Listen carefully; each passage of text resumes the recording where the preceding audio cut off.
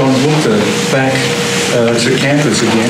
I'm not going to do an introduction today, but I'm going to um, hand it over to another John who worked uh, very, very closely with John Guenther.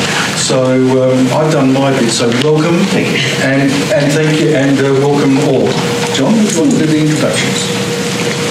Thanks, Grant. I'm delighted to welcome John, particularly when he just asked me the question how I got out of bed this morning and forgot to change my pyjama shirt. way.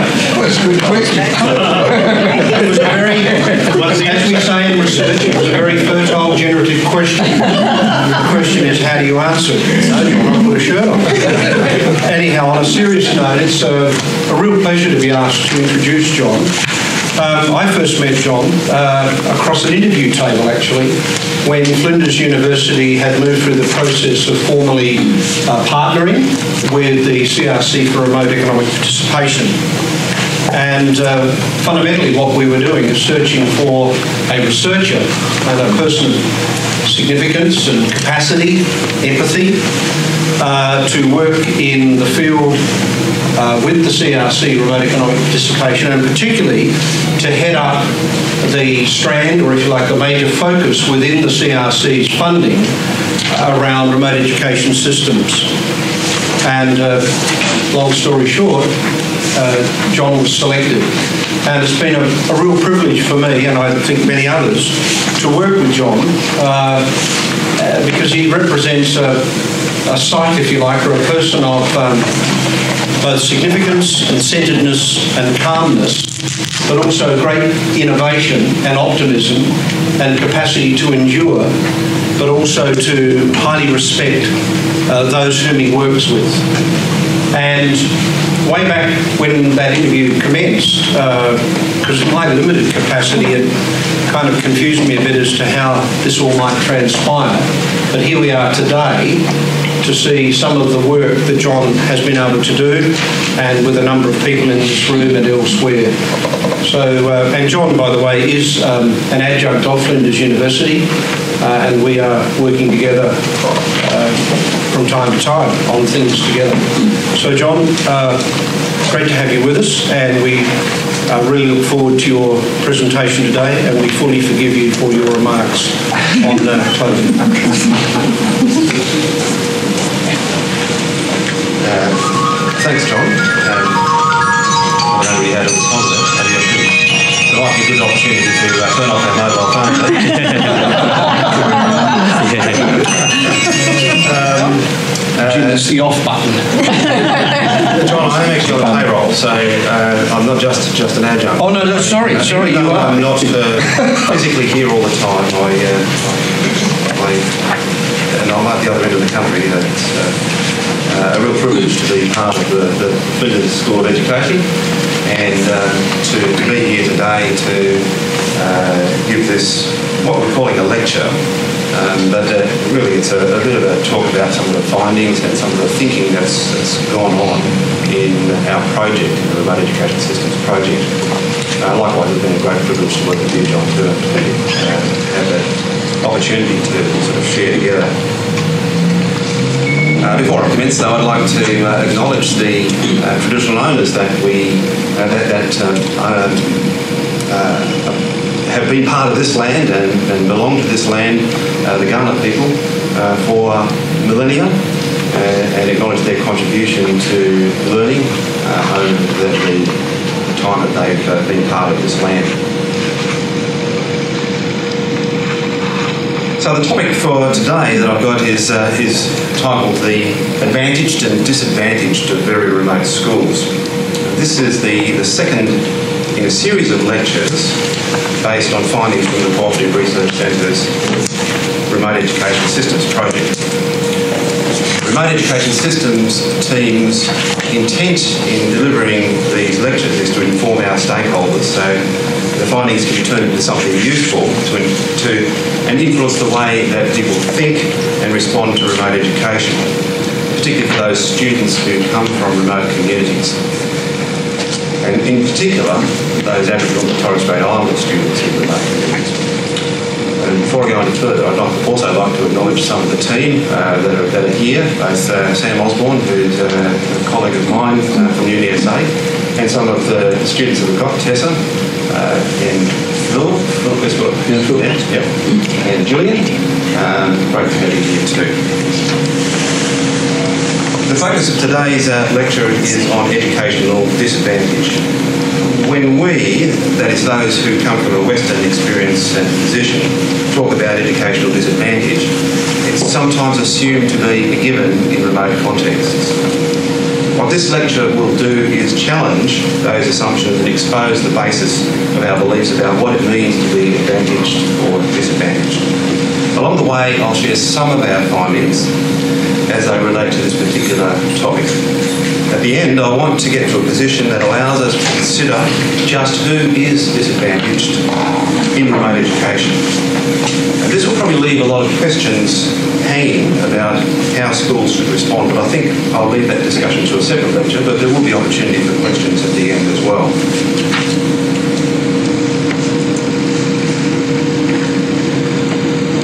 Four research questions that have driven our research project from the very beginning. Uh, We've collected qualitative data from uh, a a range of sources, and we've examined this qualitative data, which I'll go into in a bit of detail later on, um, to see what sort of responses we get to these questions. So the, the four questions that underpin our research are one, what is education in, in remote Australia for, and what can or should it achieve?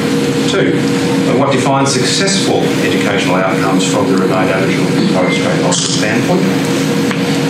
Thirdly, how does teaching need to change in order to achieve that success as it was defined by that standpoint?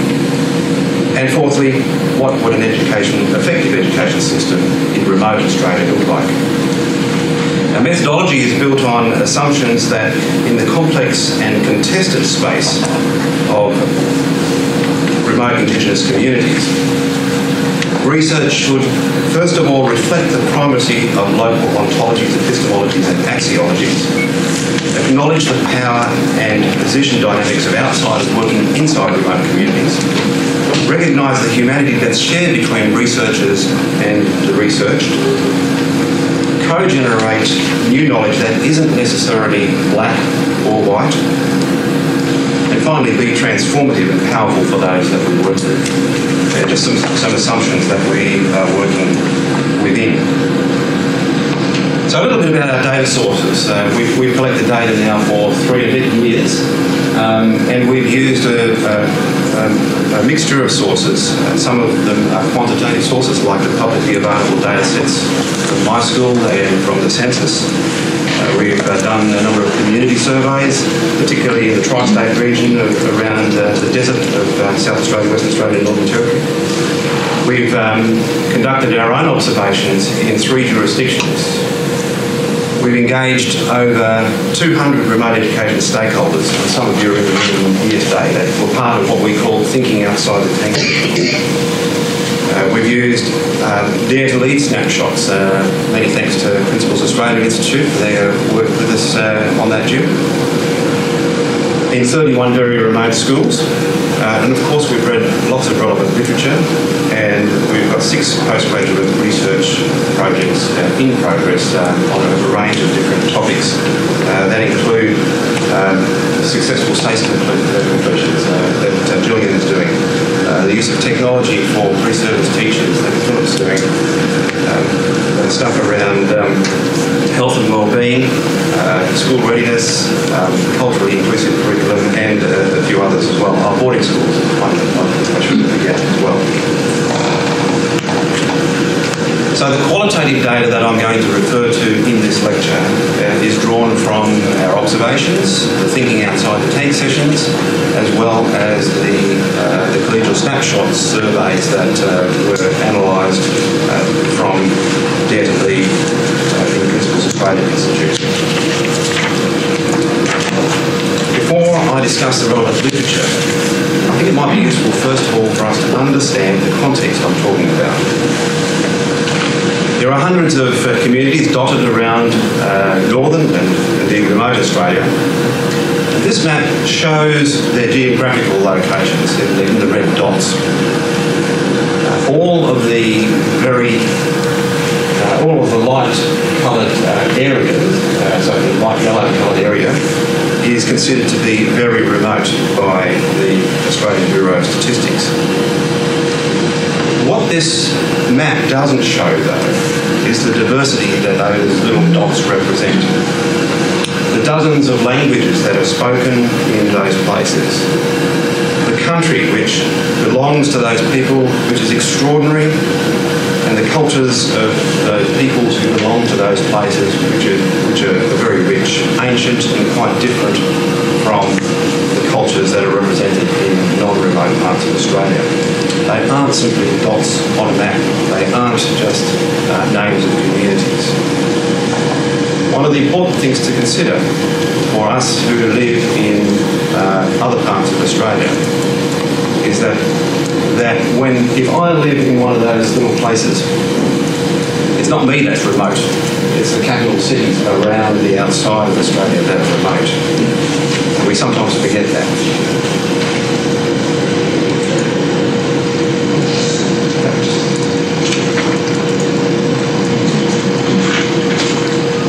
I'm missing slide here.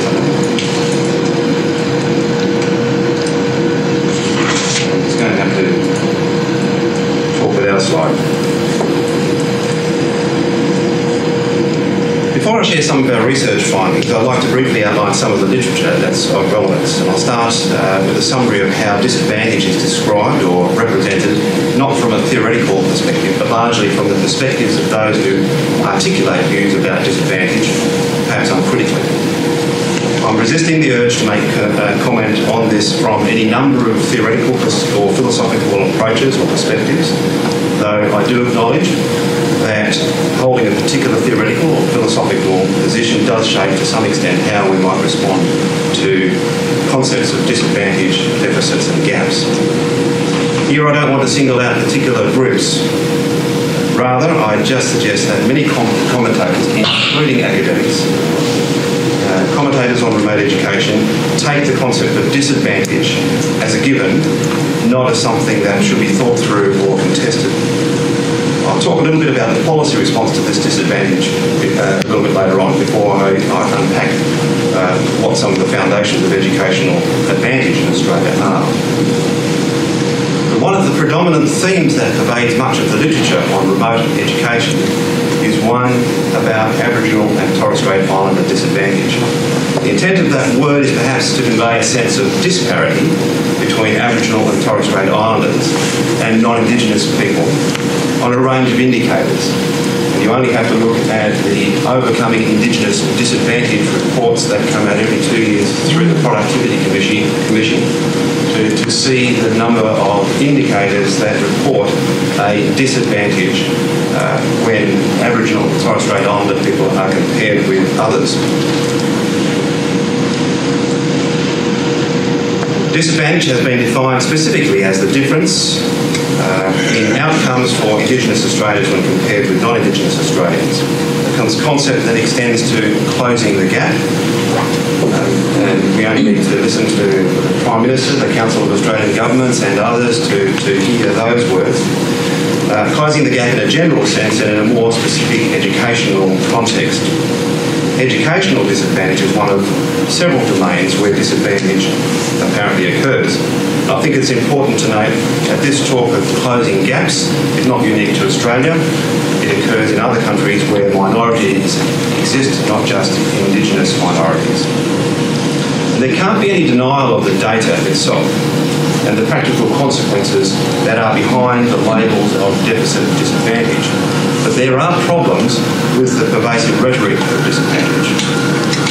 First, there's a real risk that labelling people as disadvantaged if you're Aboriginal or Torres Strait, Torres Strait Islander is the disadvantage itself. So to be disadvantaged then becomes being an Indigenous person. Uh, in effect, uh, uh, being Indigenous then is some kind of racial or, as Cowlishaw says, cultural dysfunction.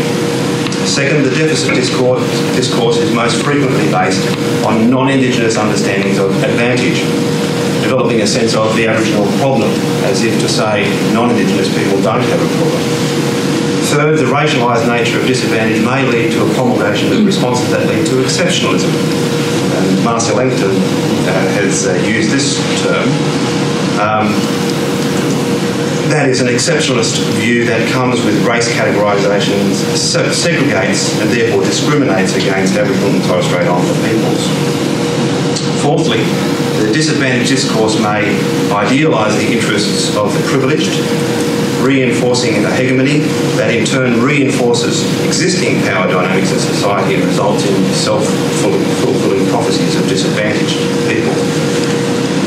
Then the design of remedial interventions which are meant to fix the deficits just reinforce a narrow view of what a good education or what a good life is all about.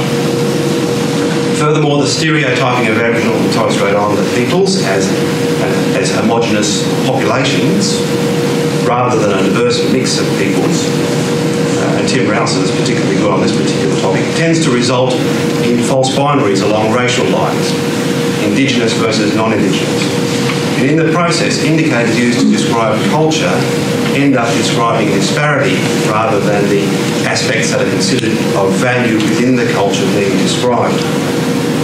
Now later on I'm happy to give some examples of what I mean by that uh, if you ask. The data reported at a national level in Australia do support a view that remote Aboriginal and Torres Strait Islanders perform below the standards achieved by non-remote students. The performance gap or deficit is evident in any number of measures, including academic achievement as measured by NAPLAN, school attendance, retention to year 12, transition into further education or university, uh, or into employment. Once again, you only have to have a look at the overcoming disadvantage reports to see how those gaps aren't necessarily closing. National approaches don't necessarily target remote schools, but the schools with the most disadvantaged, according to those de definitions, um, tend to be those schools in remote places. And more specifically, those schools with high proportions of Aboriginal and Torres Strait Islander students. In, uh, in 2012, uh, a national education agreement was uh, formed through the Council of Australian Government, which had as its goals uh, a number of points to uh, attract and train and develop quality teachers, to implement a national curriculum, to enable greater transparency and accountability uh, in the education system to raise parental and community expectations, to support teaching and learning, to review funding arrangements, uh, to uh, provide support to students with additional needs and to close the gap in educational outcomes. And it doesn't take too much, I think I'll go back to the slides now, to see the outworking of the National Education Agreement in the policy responses that have come as a result of, the, uh, of, of, both the Melbourne Declaration on the Educational Goals for Young Australians and the subsequent um, uh, National Education Agreement.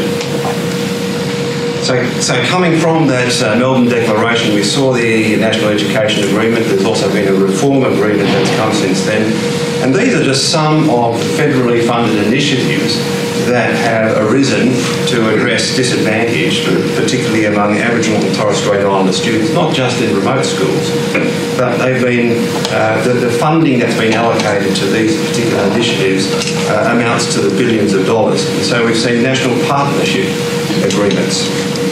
We've seen the My School website established. We've seen uh, a national curriculum introduced. We've seen Gonski reforms rebadged under the Education Australia Act We've seen national teacher professional standards in remote places. Uh, they've tried a school enrolment attendance measure. We've had the More Aboriginal Torres Strait Islander Teachers initiatives. We've had national, uh, the National Alliance for Remote Indigenous Schools. We've had direct instruction, or we're having direct instruction and explicit direct instruction. We've had the strongest and smarter institute. We've got the Australian Indigenous Education Foundation, and uh, one of the, the most significant uh, initiatives uh, to come into uh, remote Australia is the remote school attendance strategy. Now, most of these initiatives have actually come and gone. But I would ask, have they actually worked? Has there been a change as a result of those initiatives? And it's actually quite difficult to find anything that answers that question about did it really work? Um, and that's a little bit surprising to me, given the billions of dollars, and I mean billions of dollars, that have been spent on these initiatives. Surely we would want to see some evidence that these initiatives have worked. Uh, it's been a huge commitment to action, you could say.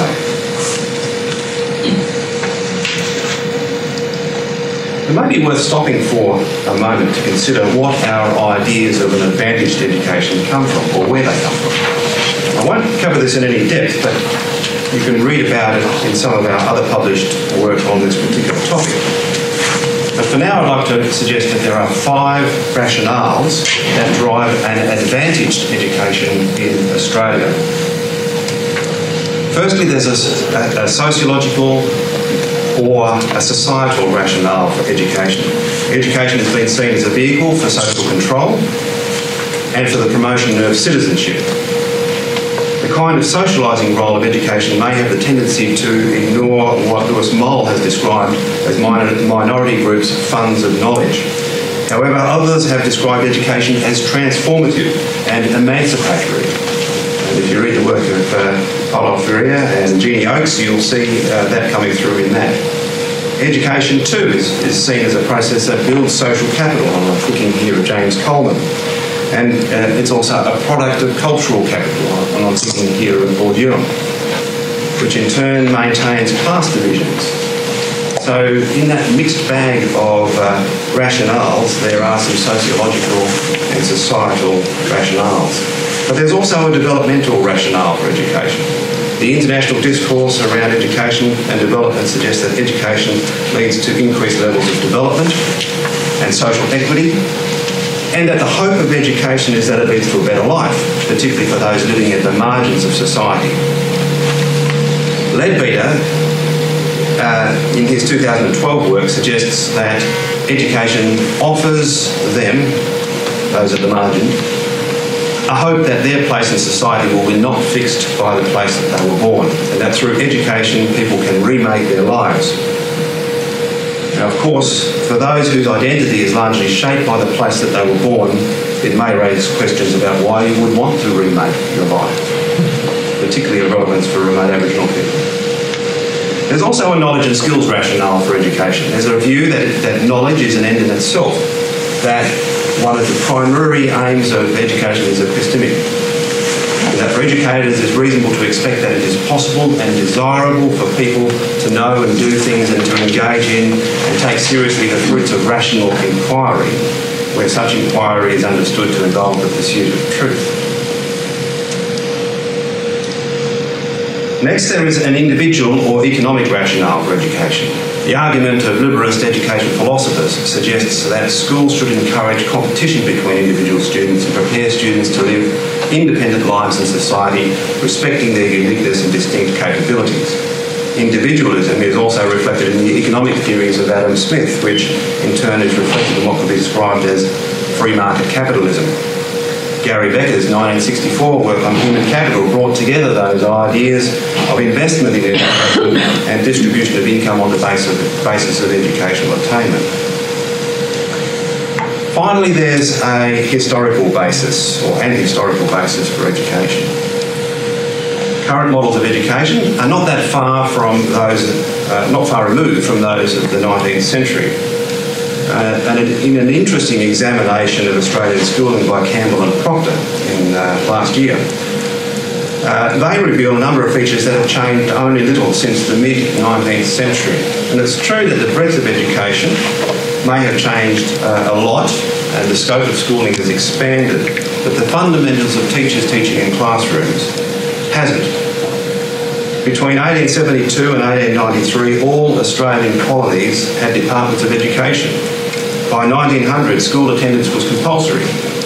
and the teaching of profession was well established and curricula well, well developed. And of course, the same cannot be said for education in remote communities. In many cases, those communities weren't even formed or in place until the 1960s, 70s, or even 80s. And school buildings weren't even part of the, uh, the landscape of those communities, perhaps until later on. Our analysis of some of the data that's available suggests that the longer the history of schooling in the community, the more likely the patterns of attendance and achievement will mirror those of non-remote schools.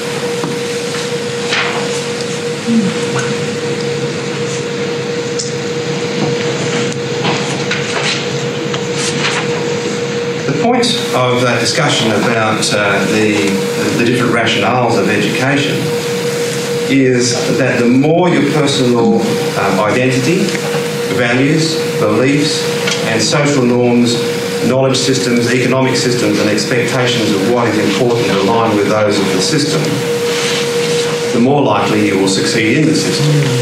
I guess this, this representation, which, we, which I've adapted from an earlier piece of work that we did, uh, is an attempt to, uh, I guess, diagmatise uh, those rationales for a good education in Australia generally.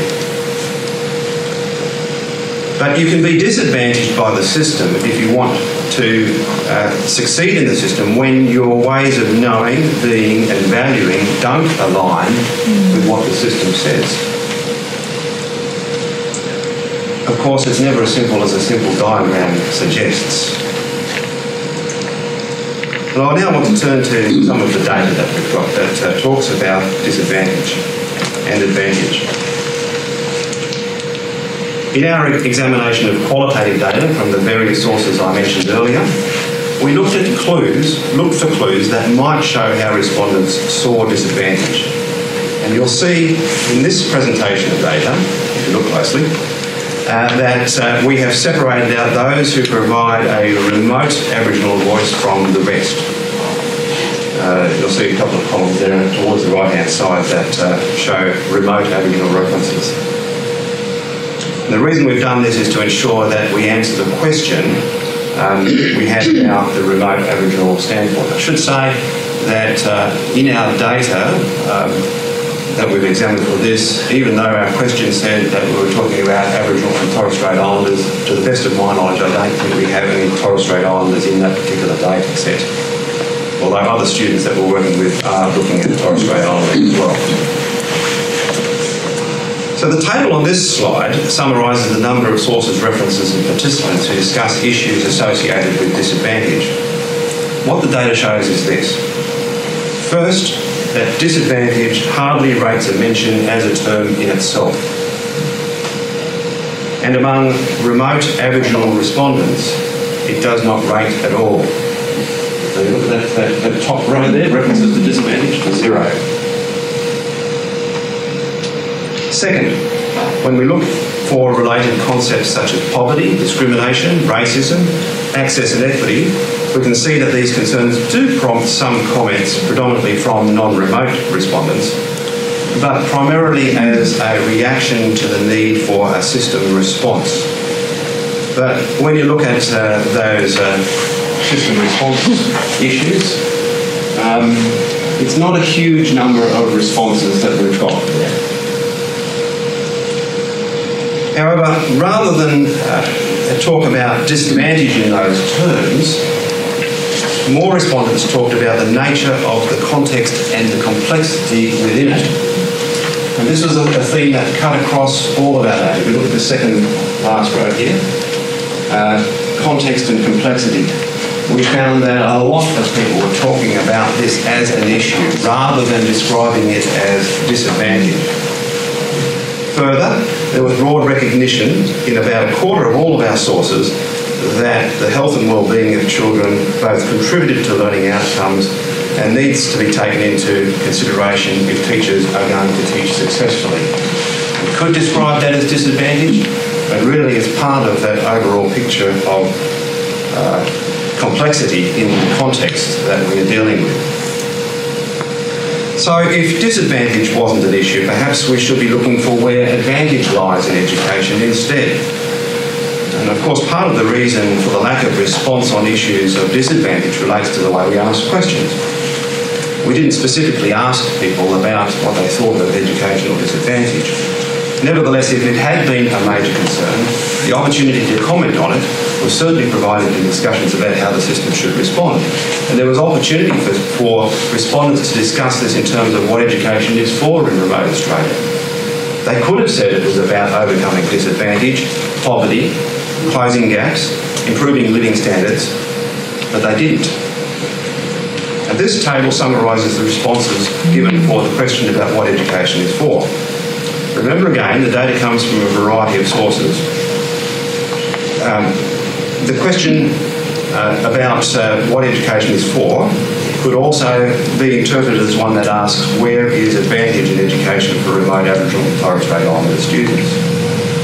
And in contrast to the table I first showed, the number of responses given here is much greater. Note again that we've separated out the remote Aboriginal voice from other voices. And uh, in the right hand side there, I've got a, a, column labelled chi squared. Uh, we did some analysis on uh, the, the, difference between um, the non remote and remote voices. And uh, the ones that have got numbers in them show that there was a difference in issues around language, and culture, employment and economic participation and choice and opportunity.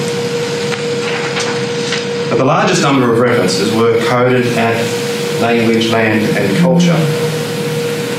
In abridged terms, this is about maintaining strong links to local language, kinship, kinship and stories. This view of education was articulated more strongly by remote Aboriginal people. The second issue of importance to respondents related to identity. There was frequent overlap between the, uh, the language, land and culture and identity themes, but the point of distinction was, in terms of identity, the, the importance of belonging, in, individuals knowing who they are, being confident and strong in spirit. The third response, this is in order of importance, of course, here, to the question what's education for related to employment and economic participation the importance of education leading to jobs. The proportion of non-remote responses here was significantly higher than for Aboriginal responses in remote communities. A fourth issue raised uh, by many respondents was described as being strong in both worlds. That is, respondents felt the need for young people uh, to learn how to engage within their own culture and be confident engaging with Western cultures knowing what was appropriate in both cultures. A fifth advantage of education was that it allowed for meaningful engagement in the world. In other words, it should be about helping students learn to live in the world, being able to deal with the realities of life and community, building cultural capacity to deal with the environments they find themselves in, engaging in relevant learning, enabling them to be productive and broadening their horizons. Swag things there. And the sixth purpose of education given was about providing choice and opportunity. And here, uh, the non-remote voices came out more strongly. And I could go on. There was a range of other purposes that were offered by respondents, including the need for schools to prepare future leaders in communities, to be, to be socialised to the norms of schooling, to offer pathways to further learning, and to empower learners. The point to take away from this table is that according to our respondents, there are many advantages of engaging in education for remote learners.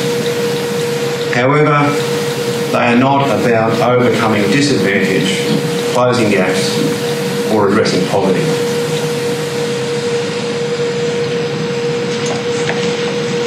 The literature I cited earlier talks about Aboriginal and Torres Strait Islander disadvantage the labelling of disadvantage is based on non-remote, non-Indigenous indicators of success and advantage.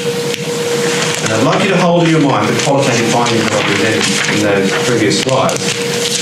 But to explain this a little bit further in terms of just who is advantaged and who is disadvantaged, I'd like to just draw on initially some MySchool data. So in response to the question, are students disadvantaged? We didn't ask students directly uh, about their views. However, one thing we do know from our research is attendance rates and retention to through to year 12 and then transition to employment and further higher, further or higher education are relatively lower uh, than they are for non-Indigenous students, whether they are from remote communities or not. And this slide here shows attendance rates in very remote schools with both uh, uh, up to 80% Aboriginal Torres Strait Islander students and above. And what we see is that despite the significant investment that you, you would have uh, seen in that one of those earlier slides, nothing has really changed in the seven years that my school has been uh, showing data from uh, the schools across Australia. So in 2008, the attendance rate for uh, remote schools with mainly Aboriginal students was 69%. And in 2014, guess what?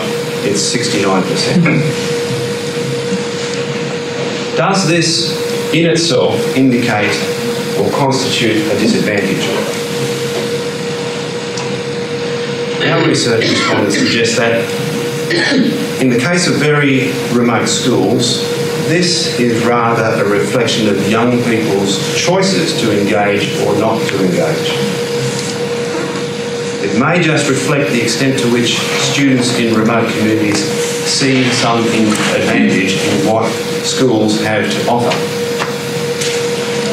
So I don't look at this and say, well, there, that's an indication of disadvantage. I see that as an indication of students' choices to engage in a system and to take up what it has to offer. What about parents? Uh, if students aren't disadvantaged, are remote parents disadvantaged by education that is on offer in schools?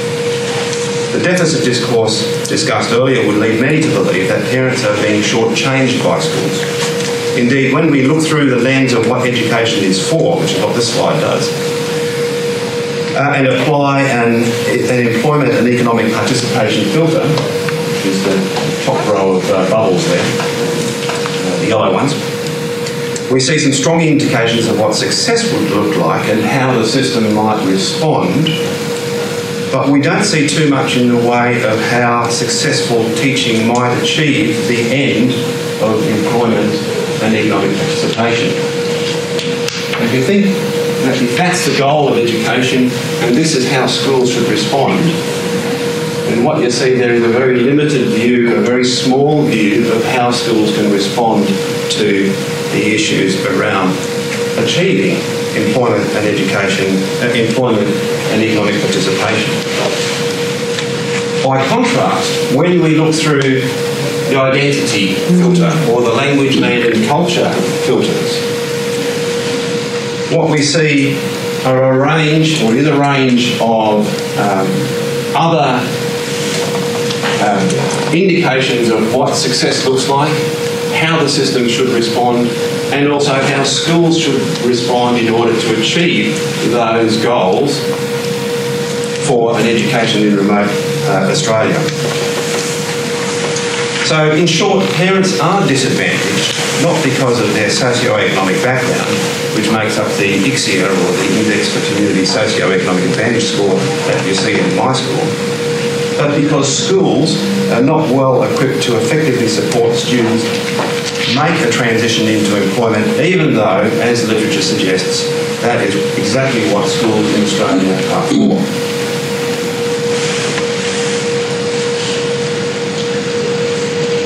I'd also ask, are non-local educators and leaders disadvantaged? We don't often talk about this, but what about non-local educators and leaders? Are they disadvantaged? Non-local educators and leaders are at a distinct disadvantage both compared to their local colleagues and their non-remote colleagues who teach or lead in non-remote schools. Non-local respondents, while not describing this as a disadvantage, talked about the importance of local language teachers, of ESL skills the need to be contextually responsive, all of which you can see if you look closely at these clusters of responses here, are really important for non-locals. But if you ask the same questions of uh, leaders in urban schools, of teachers in urban schools, my guess is that most of these things here would not rate a mention. Why do they rate a mention in a remote context? It's because leaders and teachers themselves see themselves at a disadvantage. They see their, their own deficits. The apparent privilege that non-remote educators bring to schools counts for very little in a remote community. It may even be a hindrance. What about local Aboriginal educations, uh, uh, educators? Are they advantaged or disadvantaged? Our qualitative data published elsewhere shows that for remote Aboriginal participants, having local language educators in schools is critically important.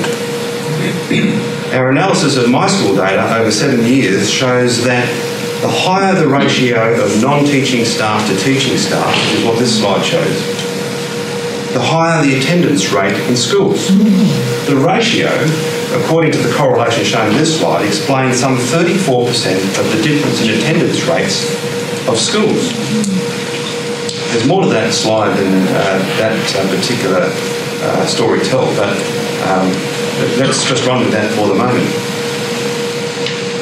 Now, at the same time, in 2014, nearly one in four very remote schools with more than 80% Aboriginal and Torres Strait Islander students employed either zero or just one non-teaching staff, let alone local language educators. Our analysis also suggests that local educators and support staff have a critical role working with families, dealing with teasing and translating and interpreting for teachers who do not know the local language.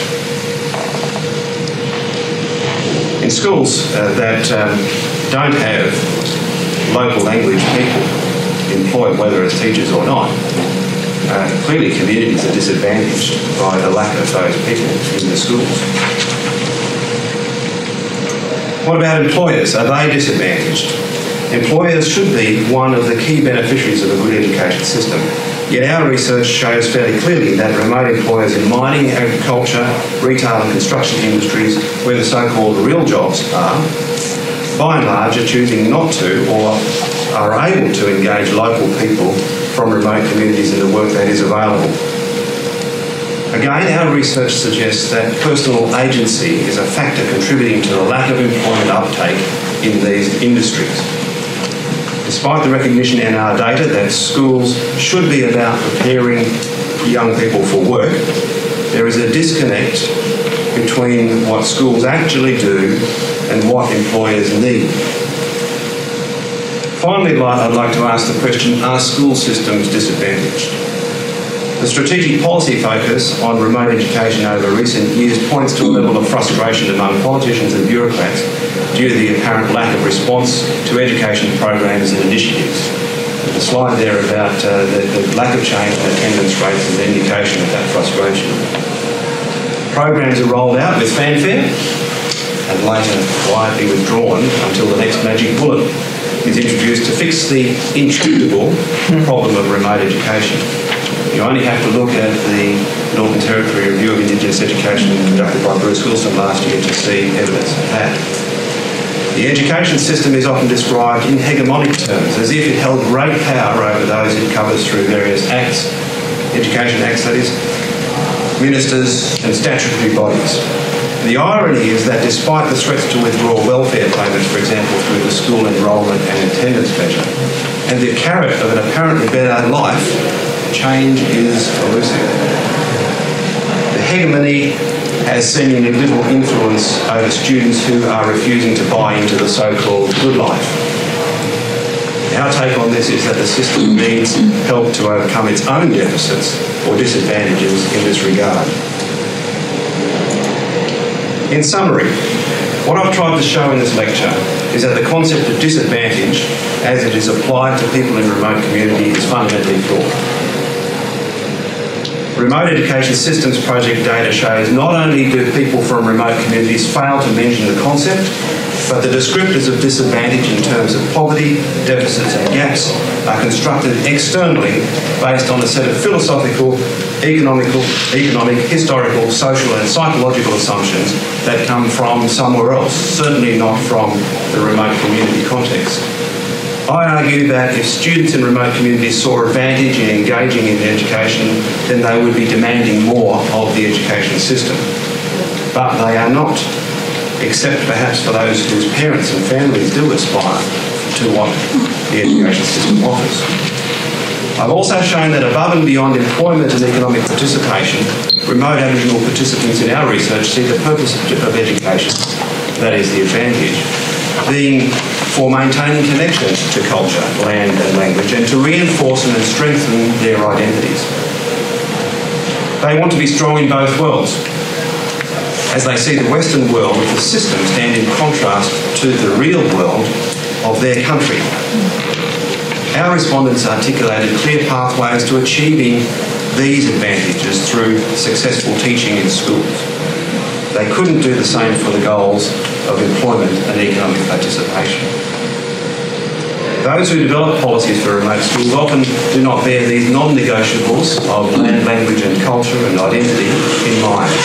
They may think they hold the keys of advantage and therefore expect a favourable response to their good intentions. But I contend that it is not students in remote communities who are disadvantaged, at least in their own minds. Rather, it is first and foremost education systems that are disadvantaged. After all, nothing they have tried so far has worked particularly well in achieving or effecting the kind of rapid change expected from remote communities. Unfortunately, as a result of their failures, parents, employers, local and non-local educators are all shortchanged in the process. While we haven't had time in this lecture to unpack what we see as some of the answers, and the data certainly does shed light on those answers, we first need to find a new language to talk about schools in remote communities.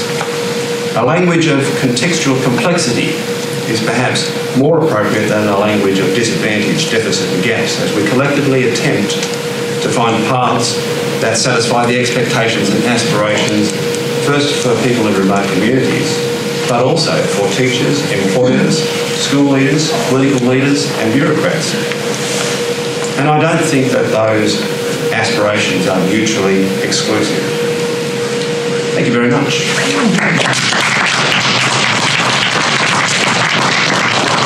Thank you very much, John. Thanks for that very uh, thought-provoking and challenging presentation. What we normally do in uh, the session from here is that we open up for uh, for questions, and I think we'll proceed with that in that normal way. We have approximately five minutes to do that. I'll uh, I'll be the channel for the questions, at least initially, unless the process overtakes me, and I will retreat and sit down. But so, uh, yes, questions, comments, please. Thank you. Thanks, John, for your presentation. Andrew Peterson from University of South Australia. I just had a question, John, about the first part of the conclusion and whether the statement about students not seeing themselves as disadvantaged, is that, is that a normative statement that they shouldn't see themselves as poor and disadvantaged?